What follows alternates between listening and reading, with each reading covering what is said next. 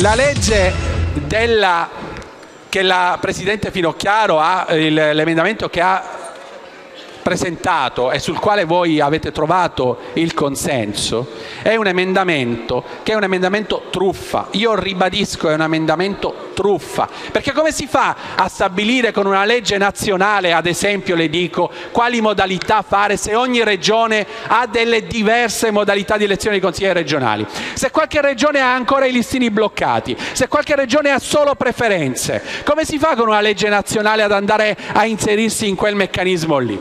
Anche perché in questo emendamento non si parla dei sindaci, i 21 sindaci eletti, cioè i consiglieri regionali eleggeranno, vi porto l'esempio della Lombardia, 1530 circa comuni, 1530 sindaci sono solo nella regione Lombardia. I consiglieri regionali dovranno scegliere uno tra i 1500. C'era una canzone famosa, uno su mille ce la fa, uno su 1500 ce la fa. Oggi vi chiedo semplicemente chi può, chi vuole di fronte all'Italia di dire riportiamo il testo della Costituzione a quello che era, tre semplici righe che anche un bambino può capire. Diciamo subito se vogliamo una Costituzione bella perché semplice e intelligibile a tutti oppure una Costituzione fatta da zecca garbugli. Dentro la riforma costituzionale c'è la famosa riforma del Senato. Attenzione, riforma e non abolizione. Oggi il Senato è composto da 315 senatori, più quelli a vita. Con la riforma diventeranno 100, ma attenti al trucco. Saranno 74 consiglieri regionali, 21 sindaci, 5 membri nominati dal Presidente della Repubblica. In totale 95 senatori saranno ripescati dalla classe politica più corrotta del Paese. Con questa riforma nessun senatore sarà scelto dai cittadini. Sappiamo però che tutti godranno dell'immunità parlamentare. Ci dicono che non prenderanno lo stipendio, visto che a pagarli ci pensano già le regioni, ma nelle loro tasche finirà un rimborso spese che ad oggi non ha alcun tetto. Ma ci chiediamo, se stanno in Senato, come faranno i futuri senatori a fare contemporaneamente e bene i sindaci e consiglieri regionali?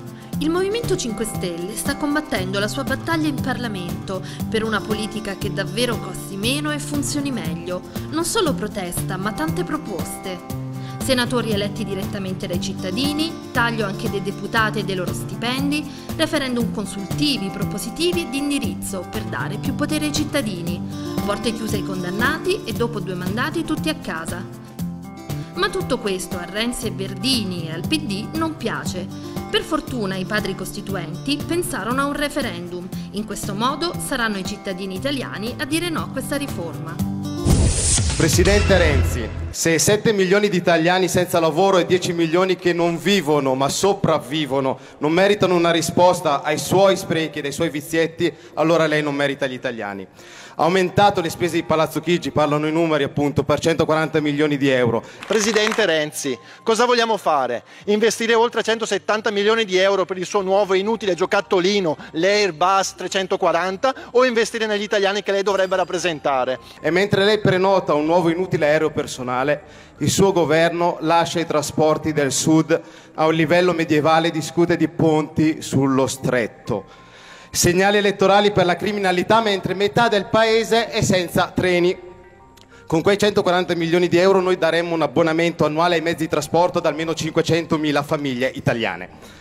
Lei, i suoi ministri, i sottosegretari, invece di andare a piedi, come annunciato, ci costate 106 milioni di euro in leasing di auto blu, 26 milioni in più dei precedenti governi, 2000 autovetture in più. Lei, Presidente Renzi, ha raccontato a reti unificate di voler mettere il turbo al Paese ma la sua è una truffa stile Volkswagen.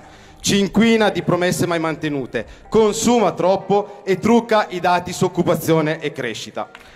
L'unica crescita visibile e reale oggi in Italia è quella della voglia di onestà dei cittadini italiani e di un movimento pronto a prendere la guida di questo paese. Oggi in aula abbiamo fatto calare la maschera al Partito Democratico.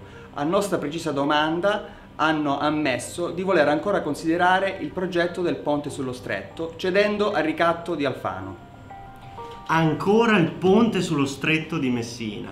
Parliamo di due regioni, Calabria e Sicilia, in cui mancano le strade, mancano le ferrovie, i ponti che crollano, praticamente due regioni quasi isolate. Noi, una volta passata l'era dell'ex ministro Lupi, pensavamo che fosse forse cambiata la gestione. Invece del Rio, il ministro che si diceva contro le grandi opere, sta ripercorrendo esattamente la stessa strada. Noi vorremmo che i soldi venissero investiti invece che per opere vecchie e inutili, finalmente per una mobilità sostenibile, per risolvere i problemi reali dei cittadini.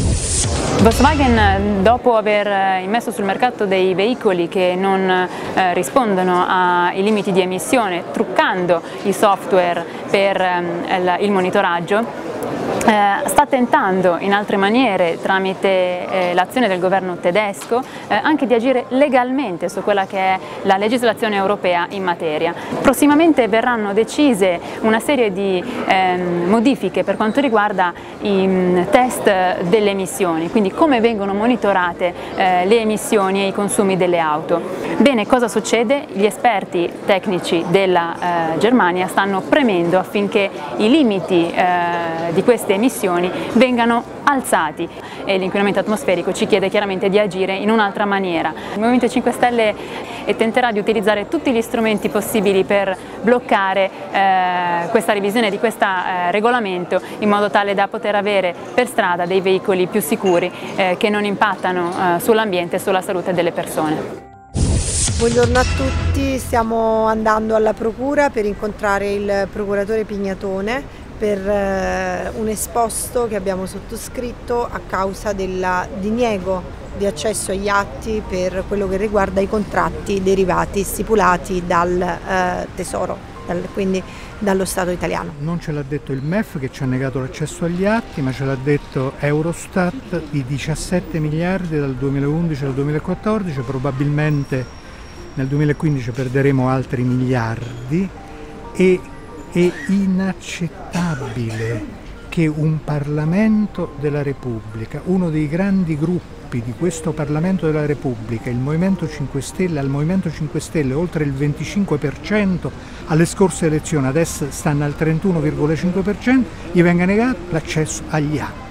Consegneremo questo esposto sia alla Procura della Repubblica sia alla Corte dei Conti, perché è giusto che comunque vi sia un controllo, anche se ex post, su quello che è stato fatto con questi contratti, con questi strumenti finanziari derivati stipulati dal Ministero dell'Economia e delle Finanze. Il tema delle migrazioni è un tema estremamente complesso ed è un tema di portata globale. Nell'ambito del nostro lavoro del Parlamento europeo ci siamo recati con la Commissione Affari Interni, Libertà Civili e Giustizia prima a Lampedusa dove abbiamo assistito agli sbarchi e poi sulle navi che fanno monitoraggio delle acque internazionali nel Mediterraneo, ma anche imbarcazioni private come la Phoenix che fanno search and rescue, ossia salvano persone con fondi privati. L'esperienza di chi lavora nel Mediterraneo, di chi vive giornalmente, da mesi, se non da anni, quello che è un fenomeno ormai andato fuori controllo è necessario se vogliamo provare a trovare delle soluzioni concrete e fattive a breve, a medio e a lungo termine. Un tema così serio e complesso si affronta con soluzioni intelligenti e concrete non con la politica degli slogan che non fa altro che aggravare la situazione e non risolve un bel niente. Allora questa è una delle pale che porteremo in questa grande sala qui perché queste sono tutte persone che finanzieranno Imola il 17 e il 18 ottobre la nostra grande festa all'autodromo di Imola dove avremo comici, cantanti, nostri portavoce e parleremo di politica, di iniziative e commenteremo un anno di cosa abbiamo fatto in Parlamento, nelle regioni e nei comuni, tutti insieme per scambiare idee e anche delle critiche, perché no?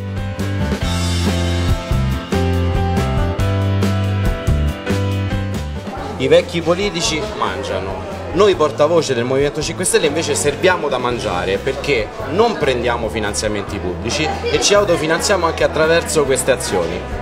Questa è la mia terza volta come cameriere al servizio dei cittadini in una serata del parlamentare che ti serve, prima a Napoli, poi a Firenze, stasera a Roma e ogni volta rimango sbalordito per l'abbraccio, proprio per l'affetto che ci danno tutti i cittadini che vengono qui a contribuire, a passare una serata, una festa con noi eh, per darci un contributo eh, che è un contributo prima d'affetto, poi economico e che ci spinge ancora ad andare avanti. Che valore ha per voi oggi in quest'Aula la parola democrazia? Per il Movimento 5 Stelle la risposta è semplice, non ha prezzo, ma mi basta girarmi e scrutare meglio i vostri